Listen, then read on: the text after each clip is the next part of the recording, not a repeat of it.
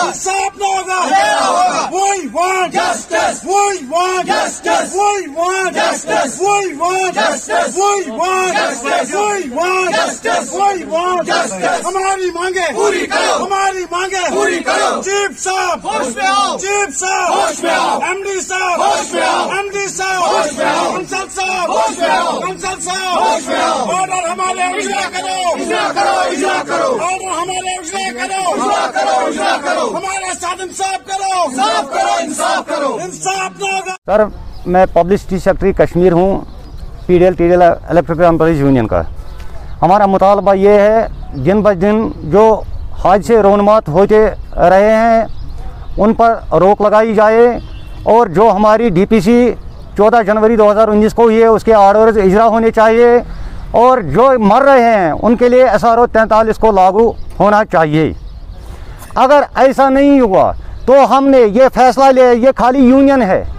ये पूरे मुलाजमिन नहीं है खाली यूनियन है। हमने फैसला ये लिया है कि 10 तारीख से हम एहजाजी प्रोग्रामों पे जाएँगे। हर डिवीज़न में एहजाजी प्रोग्राम होंगे हर सर्कल में एहजाजी प्रोग्राम होंगे। और 17 तारीख को हमारी जनरल काउंसिल होगी उसमें ये डिसाइड किया जाएगा कि हम काम छोड़ हड़ताल कब से स्टार्ट करेंगे स्टार्ट करेंगे। थैंक यू लास्ट में हमारी डिमांड यही है कि 14 जनवरी 2019 को जो हमारी डीपीसी हुई है, उसके आर्डर्स निकलने चाहिए।